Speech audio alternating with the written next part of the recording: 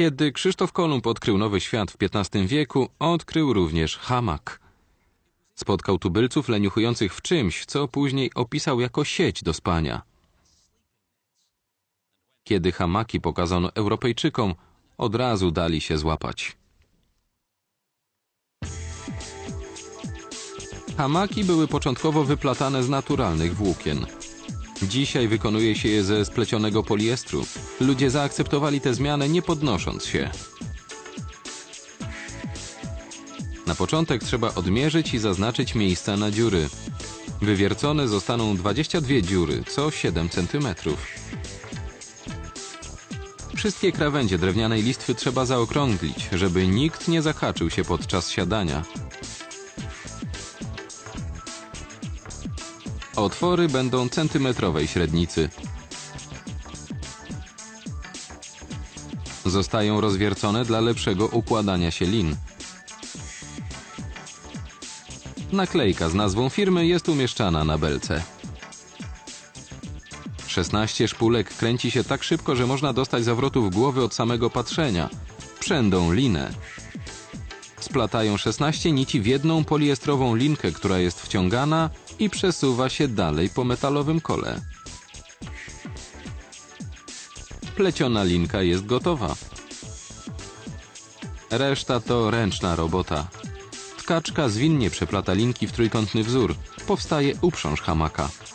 Mocno naciąga każdy rząd od pierścienia na górze, żeby mieć pewność, że całość jest solidnie spleciona.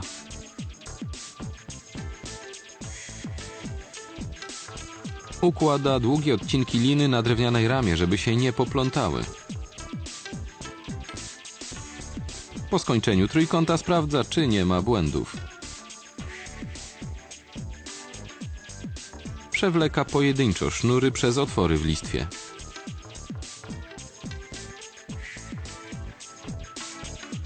Służy do tego duże szydło.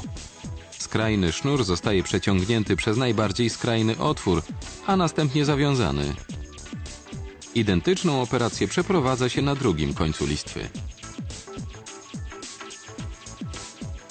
Gdy listwa wisi na skrajnych linkach, przychodzi czas na pozostałe 22 otwory.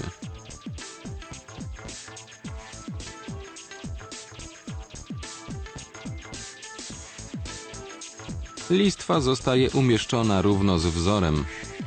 W ten sposób wszystko jest na identycznym poziomie. Wszystkie sznury muszą być ciasno związane. To krytyczny moment. Jeśli wystąpią luzy, uprząż nie będzie dostatecznie naciągnięta i hamak nie będzie nadawał się do użytku.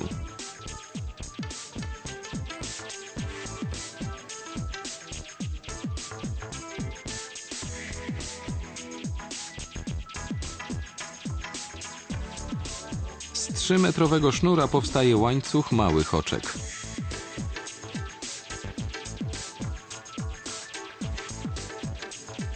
Początek jest zamocowany na haku, co pozwala błyskawicznie zmienić prostą linkę w złożony łańcuch.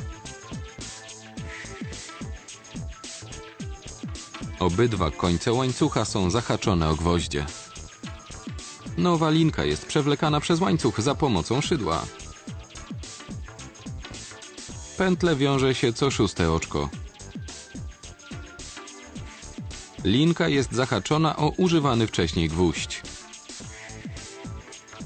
Nie ma czasu na odpoczynek. Drewniana rama i 200 metrów liny czeka, żeby zmienić ją w sieć. Tkaczka przekłada linę od spodu przez utworzone wcześniej oczka i z powrotem. W ten sposób powstaje część hamaka przeznaczona do leżenia. Drugi łańcuch zrobiony z liny zostaje umieszczony na skraju i wpleciony w oczko. Listwa z uprzężą jest umieszczana na jednym z końców krosna. Otwory leżą na wprost gwoździ. Koniec sieci przywiązuje się do linki przeciągniętej przez otwór w listwie, po kolei do każdej linki w otworze. Cały proces będzie powtórzony po drugiej stronie z użyciem drugiej listwy z otworami. Jeszcze jeden, ostatni węzeł. Końcówki usuwa się za pomocą lutownicy. Ten sposób pozwala uniknąć strzępiących się końcówek. Teraz hamak będzie kołysał Was swoim hipnotycznym ruchem.